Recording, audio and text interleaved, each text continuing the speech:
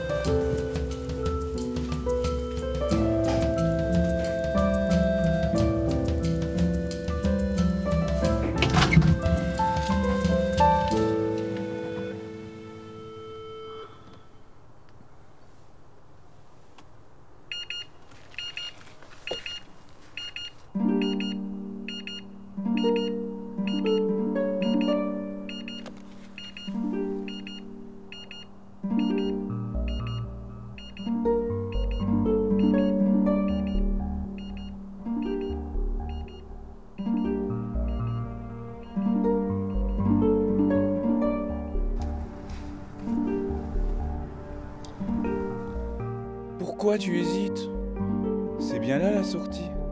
C'est l'heure de me lever. Je dois sortir d'ici. En es-tu bien certain? Es-tu sûr de cela? Je crois malgré tout que si tu sors d'ici, dans le bon sens ou non, tu seras surpris.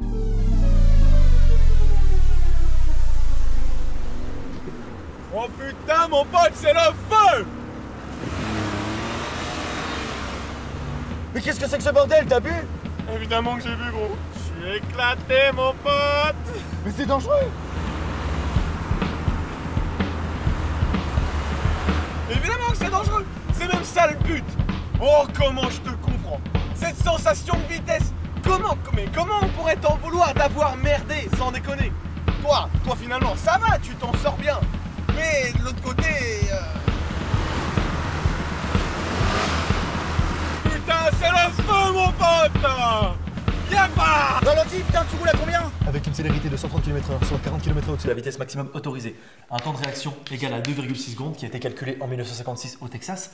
Si on prend en compte également le diamètre des pneus qui était de 43 cm dans notre exemple, et la longueur entre le véhicule et le point d'impact qui était de 300 mètres environ, je représente ceci par un petit schéma avec le véhicule, le corps étranger. Il faut savoir que le conducteur du véhicule avait un taux d'alcoolémie de 3,8 grammes. Donc il faut prendre en compte le temps de réaction et le multiplier par 2 au cube, ce qui nous amène à Y, Y faisant partie du calcul de la puissance. Et cette puissance entre le corps étranger et l'impact du véhicule a été calculée à 2,21 gigawatts. Sachant que le corps humain, nous l'avons vu au dernier cours, peut résister à une pression de 9 voire 10 G dans certains cas. Vous comprenez donc que la probabilité de survie lors de cet accident n'excède les 68% pour le conducteur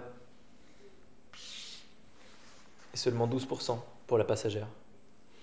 Au final, c'était plus une question d'arithmétique que de fatalité, n'est-ce pas?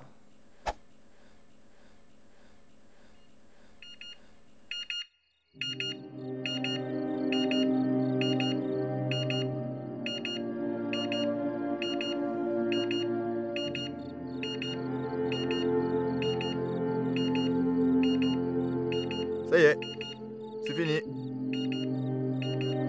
Plus. Je t'en prie, le réveil est juste derrière cette porte. Mais nous savons tous les deux que tu n'iras pas.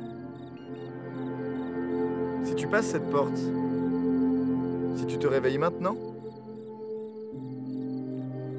ce ne sera pas seulement elle que tu auras enterrée, mais également tes sentiments, tes souvenirs. La seule chose qui te restera d'elle, ce sera ta culpabilité. Tu as tout détruit. Mais il te reste une place. Ici. C'est un lieu dans lequel tu n'auras pas à faire face à tes responsabilités. C'est un lieu dans lequel tu n'auras pas à t'excuser pour les erreurs que tu as commises.